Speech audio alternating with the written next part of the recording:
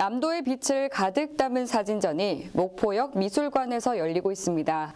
조로옥 사진작가의 전시 현장을 이소영 기자가 소개합니다. 목포역 미술관에서는 팝아티스트 조록 사진작가가 남도의 빛을 담다라는 주제로 지난 1일부터 개인전을 열고 있습니다. 작가는 촬영된 사진의 원본의 의미를 다르게 표현하기 위해 2차 그래픽 과정을 거쳐 재해석한 작품들을 선보이는 작업으로 시선을 사로잡습니다. 사진작가로 활동을 하면서 정형화된 사진 틀 속에서 좀 변화를 주고 싶다. 어, 그래서 추진 작가가 되는 동시에 그 앤디 오르의 작품을 보면서 나도 사분할 속에다가 뭔가를 내만 나만의 방식을 넣어보고자 어, 팝아트를 시작하게 되었습니다. 반복적인 배열로 사분할 등으로 분리되고 재조립된 이미지는 추상적인 새로운 이미지로 연출돼 신비로움을 더해줍니다.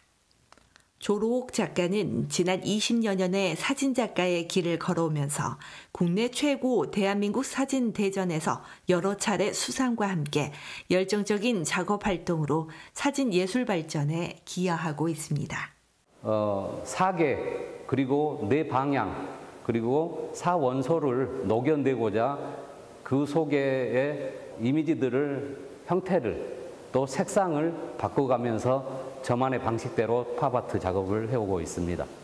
기존에 제 사진, 풍경 사진을 주로 찍는데 그 풍경이라든지 정물 사진 속에다가 그걸 컴퓨터 그래픽을 통해 가지고 어, 재가공을 하는 거죠. 그래서 미술과 사진을 경계를 넘나들면서 작품들을 만들어내고 있습니다.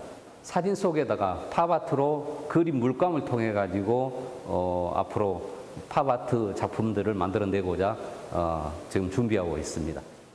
작품의 이미지를 새롭게 만들어낸 팝아트를 더한 이색적인 작품들은 현대 예술의 트렌드로 주목을 받고 있습니다. 복지TV 뉴스 이소연입니다.